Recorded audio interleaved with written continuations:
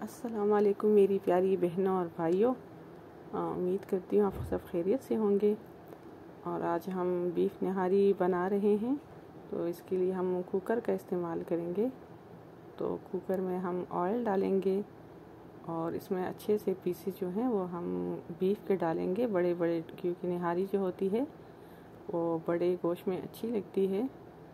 तो ये देखिए इस बीफ डाल के हम इसको अच्छी तरह से कर लेंगे फ्राई। और इसमें हम डालेंगे सौंफ और अदरक का पाउडर, क्योंकि सौंफ और अदरक से बहुत ही निहारी में मेन चीज़ यही होती है। और इसके बाद हम इसमें डालेंगे शान निहारी मसाला एक पैकेट, और जो गोश्त है इसको हम अच्छी तरह भून लेंगे मसाले में, कि जो सारा मसाला है वो अच्छी तरह इसमें से भुन जाए। और अच्छी तरह इसको हम फ्राई करेंगे। जब अच्छी तरह से फ्राई हो जाए तो इसमें हम अच्छा खूब पानी डालेंगे। इतना पानी डालेंगे कि ये जो गोश है, ये इसमें अच्छी तरह से गल जाए। और दूसरी तरफ़ हम अब देखें जो मगज़ है, इसको फ्राई करेंगे।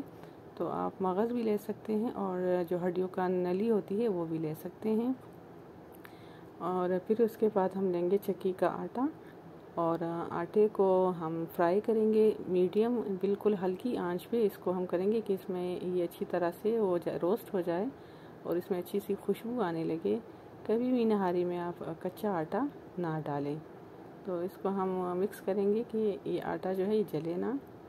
और फिर आटे को पानी में मिक्स करके हम, जो निहारी है, निहारी का पहले हम तेल हटा लेंगे ऊपर से और फिर इसमें हम ये मिक्स करेंगे कि अच्छी तरह से मिक्स हो जाए इसमें जो ये है, ये तिक हो जाए। जो इसका सालन है, शोरवा है, ये तिक हो जाए। और फिर इसमें जो हमने ये मगज़ फ्राई किया था वो इसमें हम ऐड कर देंगे।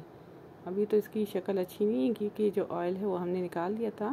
ये देखिए सेपरेट जो सेपरेट हमने तेल किया हुआ था, वो हम सालन के ऊपर डाल देंगे। इसको हम प्याज के साथ और लेमन और मिर्चों के साथ हम इसको गार्निश करेंगे और इन्जॉय करें। घर पे ज़रूर ट्राई करें। उम्मीद है आपको वीडियो अच्छी लगी होगी।